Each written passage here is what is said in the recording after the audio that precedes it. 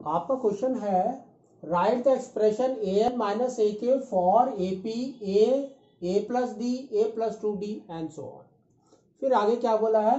Hence find the common difference of A P तो A ten minus A five is equal to two hundred ठीक है? Now तो यहाँ पर देखो क्या है? A is your A first term क्या है? ए तो A is your A and D हमारा क्या है देखो?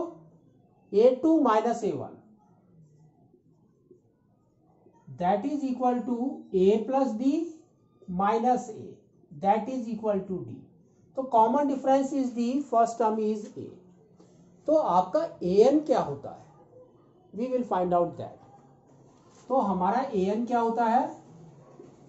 A plus N minus one into D this is your A N ठीक है?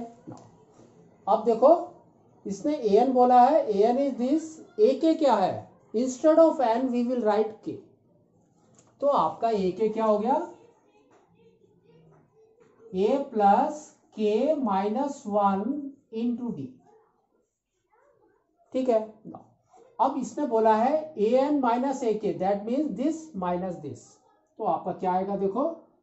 ए एन माइनस ए के तो आपका यहाँ पर आ गया A plus N minus one into D minus now A plus K minus one into D ठीक है? नाउ इसको सॉल्व करो, देखो क्या आ रहा है। A plus N into D is N D minus one into D is D. Minus now इसके अंदर भी सेम करो आप। A plus K D minus D now अब ब्रैकेट खोल दो। देखो क्या आ रहा है। A plus N D minus D minus A minus K D plus D ठीक है? नाउ यहाँ पर है ए यहाँ है माइनस ए तो get cancelled minus D plus D get cancelled. तो आपका देखो क्या बचा?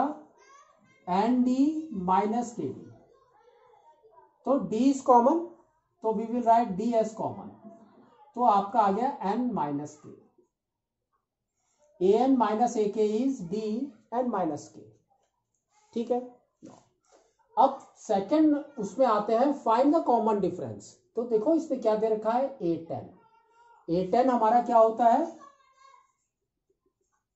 A plus nine D is A ten A five क्या होता है?